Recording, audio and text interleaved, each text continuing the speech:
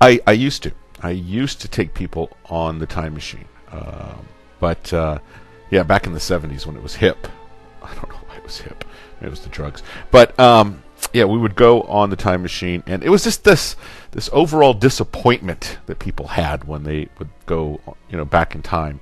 You know, you'd, you'd meet Jesus, and uh, you're kind of looking at him, and you're a little disappointed because you know you often hear stuff like, "I, I thought he'd be taller," and uh, or less like a caveman, and how come he doesn't speak English?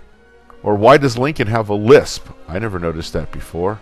I blame the movies because they have this way of just romanticizing things like the past with costumes and lighting and you know when you actually get there and it's dark and I, I you know I think the num- number one thing is the smell you know you, you hear everyone starting to say God the, the the past really smells or the future really stinks too.